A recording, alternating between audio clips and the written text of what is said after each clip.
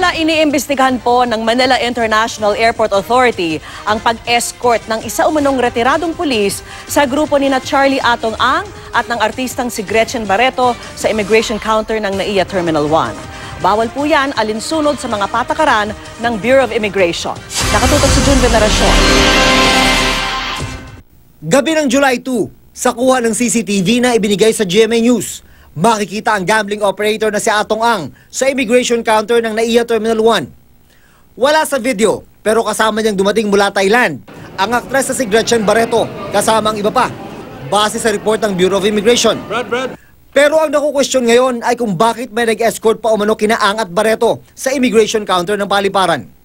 Sa report na nakarating kay Immigration Commissioner Jaime Morente, isang retiradong SPO4 si Riaco Peralta na isa umunong taga-media ang sumunduraw kay Ang at Barreto gamit ang access pass na inisyu ng Manila International Airport Authority o MIAA. Ito po ay hindi kawani ng Bureau of Immigration, ngunit ito ay isang ah, retired policeman na naka-access po ng pass para pumasok po sa paliparan. Iniimbestigahan na ito ngayon ng MIAA. Lumalabas daw na walang mamamahayag na ang pangalan ay si Riaco Peralta na nagko-cover sa NAIA. Normal lang daw na magbigay sila ng visitor's pass pero hindi dapat ito gamitin sa pag-escort sa paparating o papaalis na pasahero.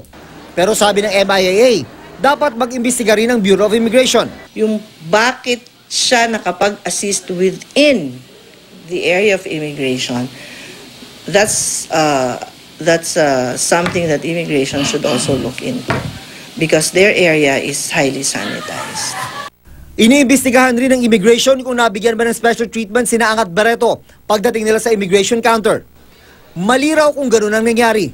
Sinisika pa ng GMA News na makuha ang panig ni na Angat Barreto.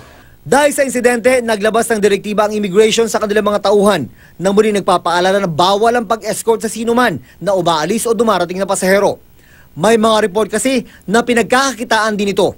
Hindi lang po ito limit, limited sa immigration personnel, marami rin tayong natatanggap na reports in the past na meron din pong airport personnel na nai-involve sa facilitation ng travel.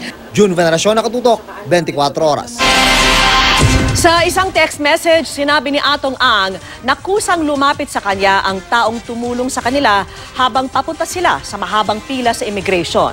Hindi niya raw ito ni-request at hindi rin daw niya kilala ang tao. Wala rin daw siyang kilala sa immigration maliban sa dalawang deputy commissioners na nasangkot sa issue sa Manoy Fontana bribery extortion. Wala pa ring pahayag sa issue si Gretchen Barreto.